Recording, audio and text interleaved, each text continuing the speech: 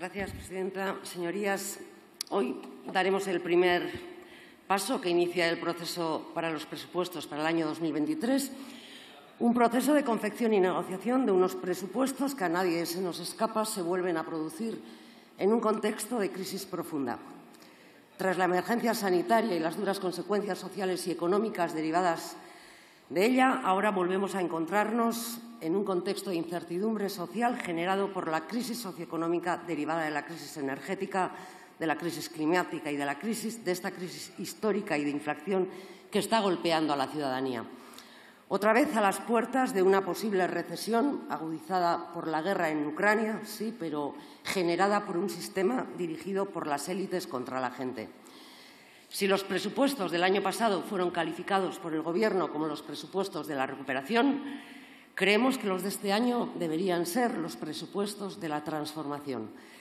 Presupuestos que deberían contener medidas económicas y sociales que, mediante políticas audaces y de calado, comiencen la transformación del modelo actual hacia uno más justo y sostenible con las personas y con el planeta.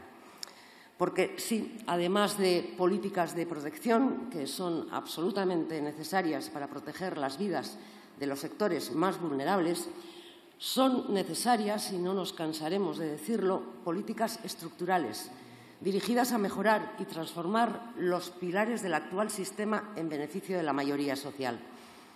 Por eso, por eso estamos de acuerdo en que las reglas fiscales continúen en suspenso, porque, además de encontrarnos en un contexto excepcional, han sido utilizadas durante demasiado tiempo como herramientas que ahogaban las capacidades de las diferentes instituciones para desplegar políticas públicas en todos los niveles institucionales.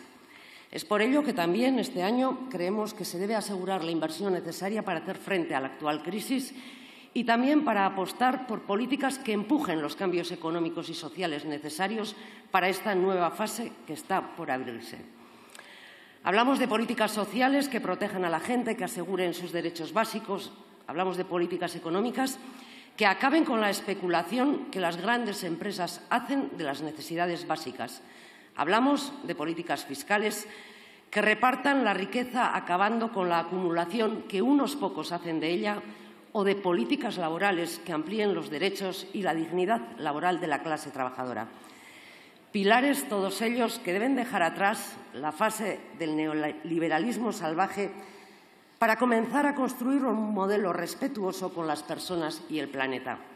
Eso es lo que esperamos de estos presupuestos, cambios que redunden en el bienestar de la ciudadanía y reequilibren la balanza a favor de la mayoría social trabajadora frente a las élites económicas y empresariales. Unos presupuestos no pueden solucionar los grandes retos a los que se enfrenta la ciudadanía. Obviamente no pueden hacerlo, lo sabemos, pero sí pueden marcar una nueva visión para las políticas públicas a desarrollar en términos de justicia social, económica y climática también.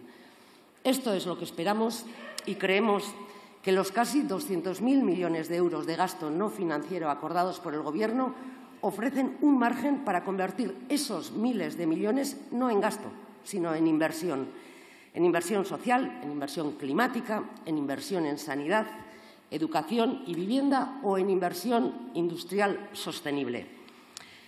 Euskal Herria Bildu acudirá a este debate y negociación presupuestaria una vez más con responsabilidad y exigencia para defender los intereses de la ciudadanía vasca.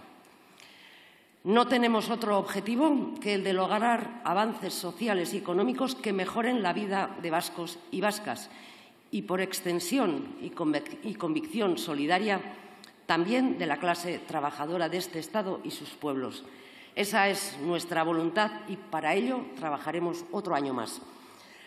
Ya lo dijimos anteriormente, en momentos de crisis como el actual, en momentos donde la ciudadanía tiene más, más, temores que certezas, nuestro deber, el deber de quienes creemos que la política debe servir para mejorar la vida de la mayoría y no para beneficiar a la minoría, debemos estar a la altura del momento y actuar con responsabilidad para ofrecer las mejoras que la ciudadanía espera de nosotras.